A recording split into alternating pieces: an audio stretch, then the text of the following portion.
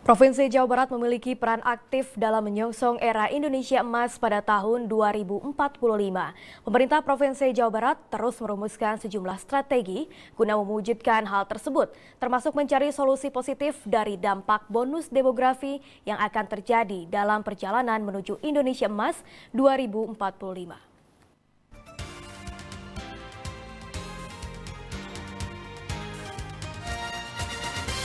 Tukang bakso makan peci. Sebagai salah satu provinsi terbesar di Indonesia, Jawa Barat memiliki peran aktif dalam menyongsong masa Indonesia emas pada tahun 2045.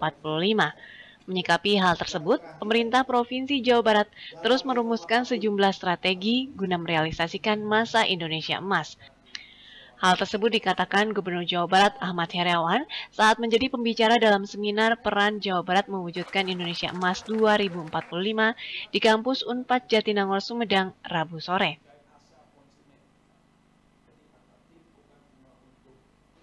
Sebagai provinsi yang mewakili 20% persen penduduk Indonesia, Provinsi Jawa Barat sangat berperan dalam mewujudkan Indonesia Emas 2045.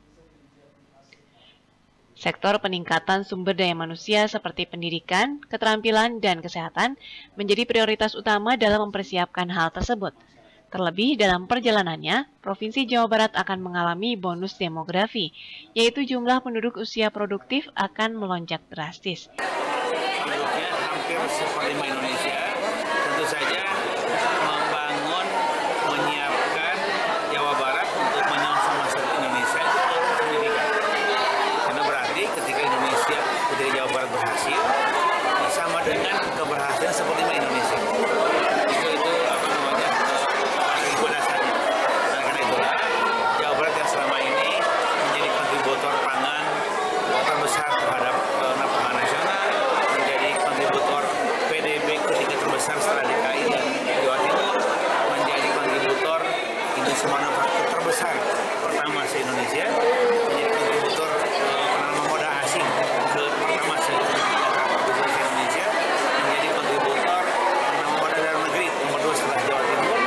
Ini tentu punya peran yang sangat penting untuk dipertahankan situasi ini dan saat yang sama juga dikembangkan secara terus menerus. Kenapa? Karena uh, tentu ke depan Jawa Barat juga akan terus berperan menjadi punya peran yang signifikan untuk masa depan Indonesia.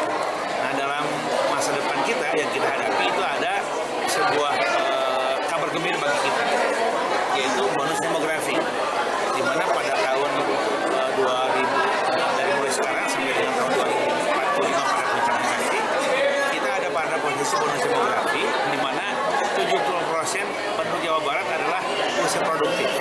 Dengan peningkatan mutu sumber daya manusia, era bonus demografi yang akan terjadi selama perjalanan menuju Indonesia Emas 2045 akan berdampak positif bagi masyarakat Jawa Barat.